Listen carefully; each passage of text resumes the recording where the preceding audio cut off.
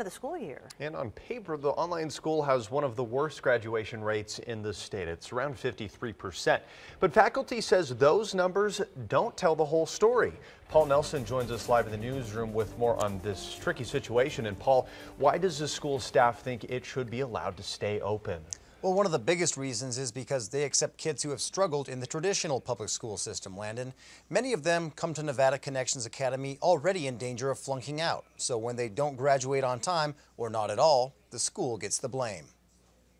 And you're going to do your portfolios. Yeah, I get to do those over Christmas break. Alexis Egbert is a junior at Nevada Connections Academy, catching up after falling more than a year behind in a traditional public school. In seventh grade, I started slacking. I didn't want to do the work. I wanted to fit in and be a cool kid.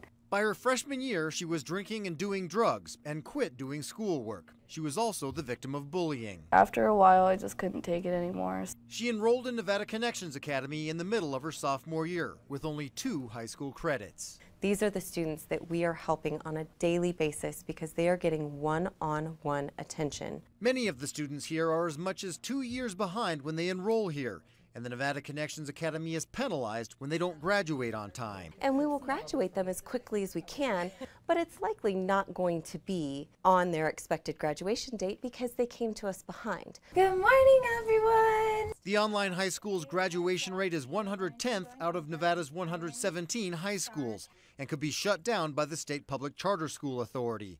But that could face legal challenges. State law does allow them to consider closing a charter high school based on the high school graduation rate. It does not allow for them to close an entire K through 12 school. Officials say when you look at students who attend all four years of high school at Nevada Connections Academy, the graduation rate is right around the state average of about 73%. Neer says overall, the numbers are far from black and white. We don't look at our students as numbers, we look at our students as human beings. And each one of them has a story and there's a reason why they're at our school. Students like Alexis, who's getting A's, B's, and C's, she hopes to graduate on time next year. Not only has the grades gone up, but also my outside school life has kind of gotten better. There's not any drama and like I get closer with my family. The Charter School Authority could not comment because of ongoing litigation, but in a press release said, quote, put simply, there is little difference in the observable characteristics, special education eligibility, overage, under credit status, adjudicated youth status, etc. of students at Nevada Connections Academy than at traditional public high schools across the state.